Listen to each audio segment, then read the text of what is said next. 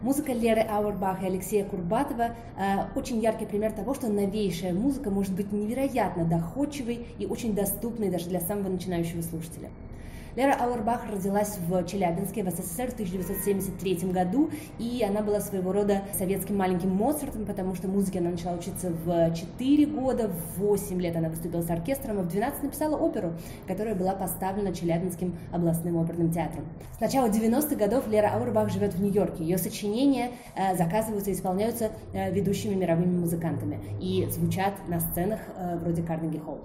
На концерте 13 ноября прозвучат 24 прелюдии Ауэрбах для скрипки и фортепиано. Это сочинение было написано 26-летним композитором в 1998 году и стало ее 46-м опусом. Когда Ауэрбах не было еще 30, ее композиторское наследие насчитывало едва ли не 6 десятков сочинений. Кроме того, она состоялась еще и в фортепианном исполнительстве, а также в литературе, в прозе и даже в поэзии. Любой цикл, который задумывается как последовательность тонально сопоставленных прелюдий, не может не вызывать ассоциации со знаменитым циклом из прелюдий Шопена, который в свою очередь восходит, конечно, к хорошо темперированному клавиру Баха, одному из главных сочинений музыки XVIII века. Кроме шопеновского и баховского, музыкальная история насчитывает множество циклов, устроенных подобным образом. Здесь можно вспомнить прелюдии Скрябина, прелюдии Дмитрия Шостаковича или Дмитрия Кабалевского. Начиная с Шопена, прелюдия перестала быть пьесой, которая предваряет нечто большее и более значительное, более весомое. Она превратилась в отдельно стоящее сочинение, которое можно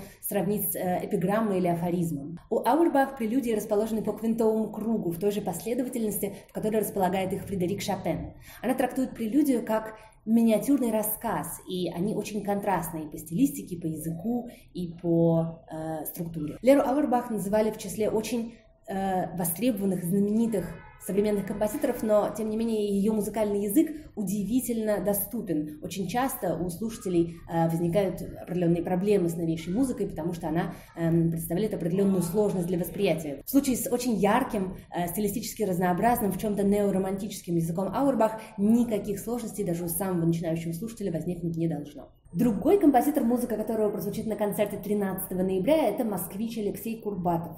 Он закончил Московскую консерваторию как пианист, а также как композитор, и его тоже можно назвать вундеркиндом, потому что первое свое сочинение он создал в 5 лет, а в 6 лет написал уже целый балет. Курбатову нет еще 40, для композитора возраст ничтожный, и ему уже принадлежат 6 симфоний, одна опера, 7 инструментальных концертов с десяток симфонических поэм, масса музыки для театра и кино и так далее. На концерте будет сыграна соната для саксофона и фортепиано, причем это будет мировая премьера, а также секстет, который был написан Курбатовым несколько лет тому назад.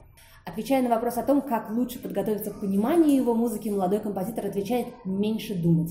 Музыка Курбатова утешит и обрадует тех, кто оплакивает исчезновение из современных композиторских языков ярких, запоминающихся, выпуклых, красивых, увлекающих мелодий. Очень насыщенная мелодически, беззастенчивая, эмоциональная, очень открытая, э, невероятно увлекающая, ведущая за собой. Э, она доказывает, что музыка современного молодого композитора может не порывать с традициями прошлого и при этом оставаться инновационной. Мы ждем вас на концерте, где будет звучать музыка Леры Аурбаха и Алексея Курбатова 13 ноября 2019 года на фестивале Reformers.